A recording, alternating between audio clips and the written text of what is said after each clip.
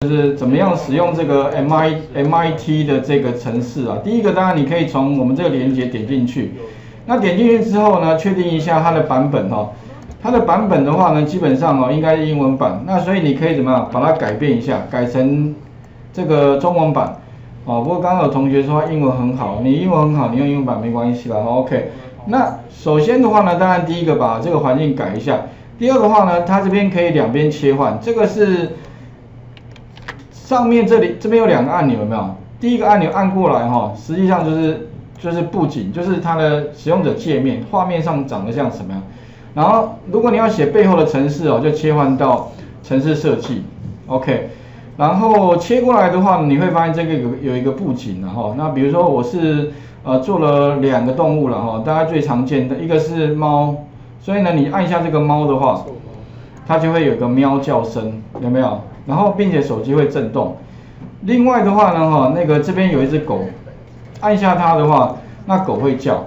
所以今天的练习很简单，其实我们先不要做两个，你就做一个就好了。啊，你你就找那个你喜欢的动物好了。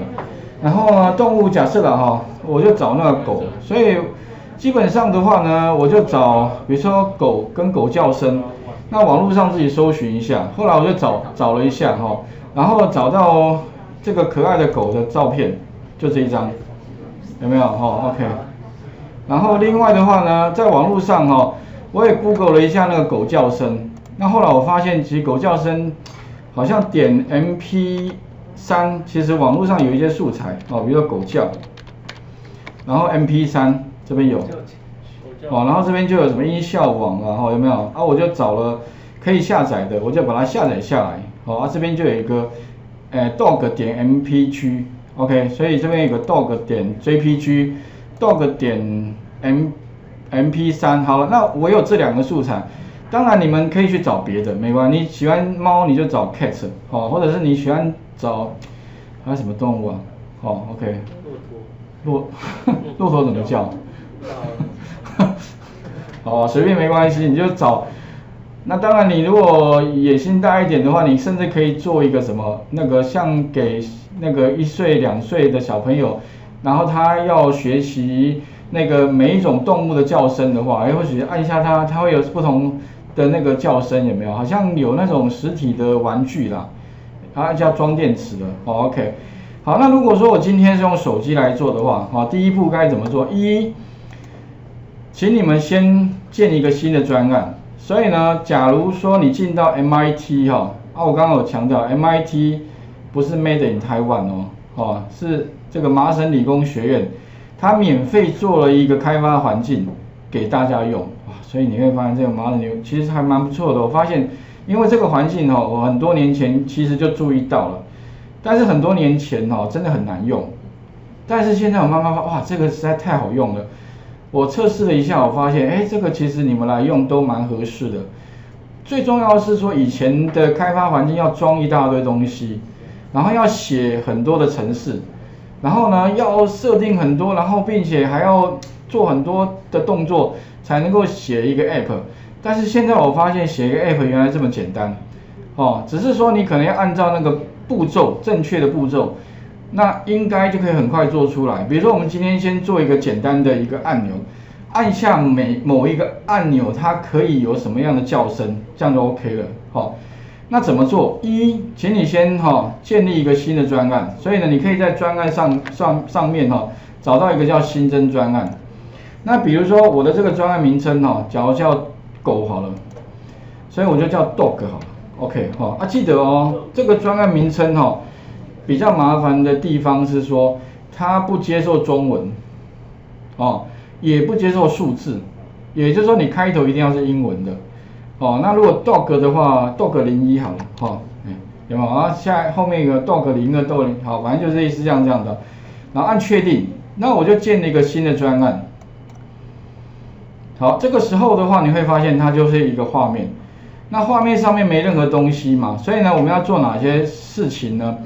第一个的话呢，哈，当然呢，上面没东西，不过我们先布局，那怎么布局啊？一，请你先怎么样上传那个。哎，各位可以看到，OK，先新增一个专案之后啊，那我的习惯是找到那个右下角的地方，会有一个上传文件。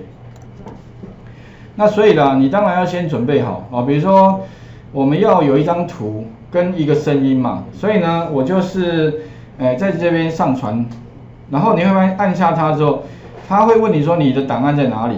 那我是放桌面上面，所以我在桌面上哈有一个 A P P Inventor，当你这个是自己去找的哈，那我就放个 dog 点 J P G 的图，好，所以把它开启，那按确定，它就传上去了，所以这边有个 dog 点 J P G。然后再来的话，dog 点 mp3，啊，至于那个图跟那个音声音哈，应该不难找了，只是要花一点时间是真的。OK 哈，然后我们两个上传之后的话，再来的话哈，我们会需要什么？哎，你要按下去，可是那个按钮有没有？所以你会发现呢，我会需要按钮嘛哈，然后按钮其实逻辑很简单，就是这个按钮呢，把它放到这边来，然后呢再把素材怎么样？放到这个图里面去，把它变成大张的。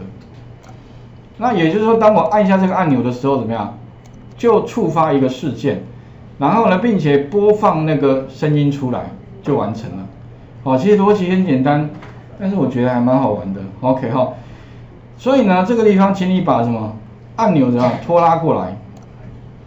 这个时候呢，就会增加一个按钮，有没有？那只是按钮上面呢，它现在是叫什么？按钮一文本。所以呢，如果你要设定的话，哦，所以哦，记得哦，把按钮拉到这边来。然后呢，设定的地方在哪里？特别注意哦，这边也会出现啊。它这个主这边两边是，呃，一个是画面上看到的，一个是背后看到的状态。然后如果你要设定的话，请你到这边设定。比如说呢，你希望怎么样？把那张图放进来的话，在哪边可以找到？有没有发现组件的属性？在哪边有图像？有没有？目前是五嘛，对不对？那如果你要把那个狗的照片放进来，怎么放？很简单，图像点一下，它会出现什么？哎，你要放哪一张图？那我放 dog，按确定。哎，dog 出现了，但是呢，哈，太大，对不对？怎么办？这个时候你可以把宽度跟高度设定一下。宽度的部分的话呢，哈，哎，让它怎么填满算了，按确定，有没有？哎，它就变成刚刚好，跟画面一样。那高度的话呢，也许就也是填满，按确定。啊，不不过这样太大了，就整个就是都一只狗。OK，啊，如果你想要少一点没关系啊，你将来可以什么？如果你要上面是狗，下面是猫的话，你可以把那个什么高度这边比例有没有？输入五十，五十就百分之五十了，按确定。五十，有没有？啊，左右的话，你反正这个地方就是有个比例啊，你可以自己在调比例，或者你可以算那个像素，哈，啊，这个其实自己在自由发挥一下。